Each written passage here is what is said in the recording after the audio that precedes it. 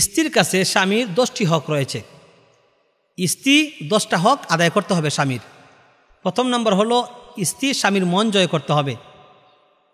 স্বামীর সেবা যত্ন করুন, তার ভালো জিনিসের প্রশংসা করুন, এমনি মন জয় হয়ে যাবে।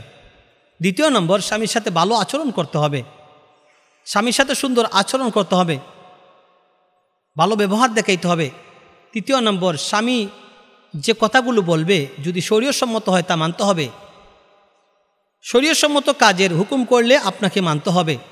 চার নম্বর, স্বামী ছাড়া অন্য কোনো পুরুষের সাথে সম্পর্ক রাখা যাবে না। সম্পর্ক শুধু স্বামীর সাথে থাকবে। পাঁচ নম্বর হলো, স্বামীর অনুমতি ছাড়া অন্য কোনো পুরুষকে বা অন্য কোনো ব্যক্তি যাকে স্বামী চয়েস করে না, এমন ব্যক্তিকে তার রুমে প্রবেশ করতে দেওয়া যাবে না। ছয় নম্বর হলো স্বামীর মাল সম্পত্তি হেফাজত করতে হবে। আজকে আমাদের সমাজের অনেক স্ত্রীরা আছেন, স্বামীর সম্পদ পকেট চুরি করে চুরি করে বাবার বাড়িতে নিজের নামে জমা করেন অথবা নিজের অ্যাকাউন্টের মধ্যে চুরি করে করে জমা করেন। এটা অনেক মহিলারা আছেন। না, ছয় নম্বর হলো স্বামীর মাল সম্পত্তি হেফাজত করতে হবে। কারণ আল্লাহ এই হেফাজতের দায়িত্ব আপনাকে দিয়েছেন। আপনি হেফাজত করতে হবে। আপনি হেফাজত করলে আপনি জান্নাতি হবেন। সাত নম্বর স্বামীর অনুমতি ছাড়া নফল রোজা রাখা যাবে না। নফল রোজা রাখতে হলে স্বামীর অনুমতি নিতে হবে।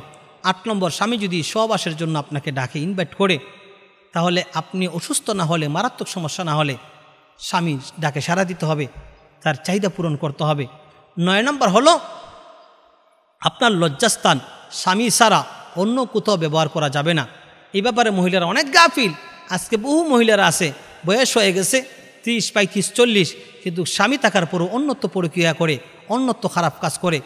এই জন্যই আপনার লজ্জাস্থান হেফাজত করতে হবে। আল্লাহ রাব্বুল আলমিন মহিলাদের বিশেষ গুণের মধ্যে একটা গুণ উল্লেখ করেছেন, যারা লজ্জাস্থান হেফাজত করে। যে সমস্ত মহিলারা লজ্জাস্থান হেফাজত করে, তারা অনেক দামি। রাসুল বলেছেন, অধিকাংশ মানুষ জাহার নামে যাবে দুইটা কারণে আফাম আলফারাজ মুখ এবং লজ্জাস্থানের কারণে। রাসুল বলেছেন যে, মুখ এবং লজ্জাস্থানের হেফাজত করে দায়িত্ব নিয়ে নিয়ে আমি তার জান্নাতের দায়িত্ব নিয়ে নিব। সুহান আল্লাহ দশ নম্বর, স্বামীর সন্তান আদি লালন পালন করতে হবে। তাদেরকে পালা লালন পালন করা, এটা স্ত্রীর দায়িত্ব।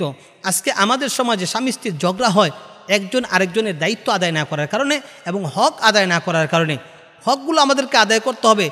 সবচেয়ে গুরুত্বপূর্ণ যে বিষয়টা হলো, স্বামী স্ত্রী একজন আরেকজনের রুচি বুঝবেন। স্ত্রী কী চায়? স্বামী কী চায়? যদি আপনি রুচি রুচি বুঝতে পারেন, তাদের চাহিদা, পছন্দ বুঝতে পারেন, তাহলে স্বামী স্ত্রীর মধ্যে ঝগড়া হবে না, স্বামী স্ত্রীর মধ্যে কোনো দ্বন্দ্ব হবে না। আপনাকে রুচি বুঝতে হবে, স্বামী একটা জিনিস চয়েস করে না, আপনি এটা করবেন না। স্ত্রী একটা জিনিস চয়েস করে না, আপনি এটা করবেন না। হক আদায়ের মধ্যে গুরুত্বপূর্ণ হকগুলো আমরা আদায় করি না। আর সামান্য জিনিসটাই সবচেয়ে আরও বড় জিনিস হলো, স্বামী, স্ত্রী, আপনারা ঘর সংসার করতেছেন, আপনাদের ব্যক্তিগত কথা, আপনাদের গোপনীয় কথা আপনারা দুইজন ছাড়া তৃতীয় পক্ষে জানবে না। অথচ দেখা যায়, সামান্য একটু ঝগড়া হলে স্ত্রীর বাবার বাড়ি মুহূর্তের ভিতরে চলে যায়। মহিলারা এটা বেশি করে, আপনার স্ত্রী আপনার সাথে ঝগড়া করেছে, আপনি পুরুষ, আপনার মার কাছে বলবেন না, আপনার বোনের কাছে বলবেন না, আপনার সাথে পার্সোনাল ঝগড়া করেছে।